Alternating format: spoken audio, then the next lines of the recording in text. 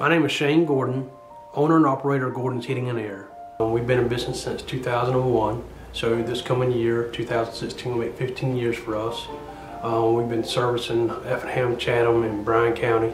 We, uh, we're growing and um, we got you know several vans and um, good a good crew and a good honest crew. Uh, several of our employees been with us for five or six years now.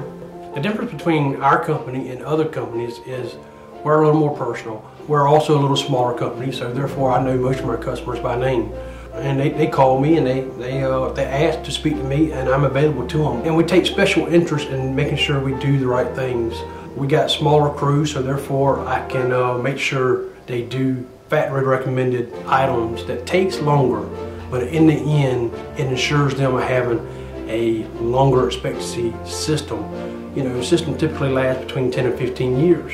You do things right, it will. You don't do things right, then you're gonna get about a seven year system out of it. So therefore, you save a few hundred bucks by going with a, uh, a cheaper bid sometimes, ends up costing the long run.